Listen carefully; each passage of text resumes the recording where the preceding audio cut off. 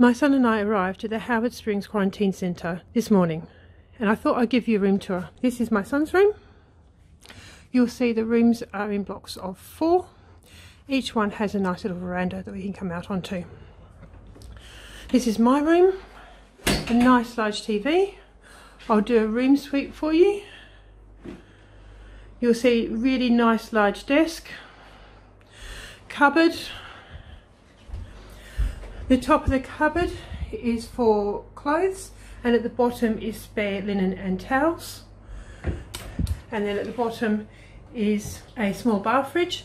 And in the bath fridge when I arrived was some nice cold water and a sandwich using your dietary preferences you've already provided and a container of milk. I've since added my breakfast and lunch that they provided for me on the balcony. I will show you my little bathroom. Everything you could possibly need, very pleasant.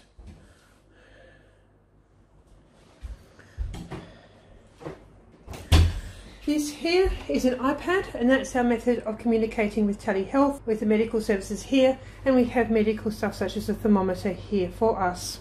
This bag here contains cups, cleaning stuff, spare toilet rolls, laundry powder, all that sort of thing. In the corner we have a kettle, cups and tea, coffee and sugar all generously provided for us.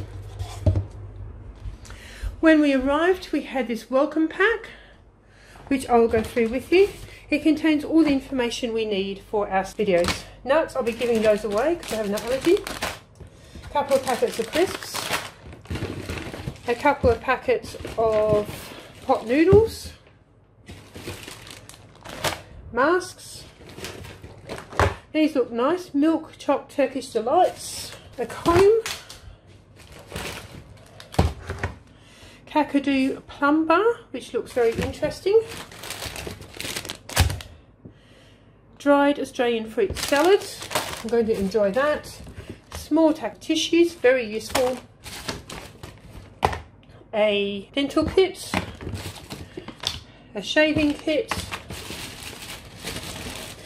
and this kit here which includes shampoo, conditioner, body wash and a container of hand sanitizer.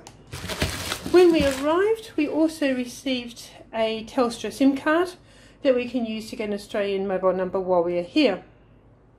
So all in all a very comfortable place which I'm going to be spending the next 14 days in. Bye for now.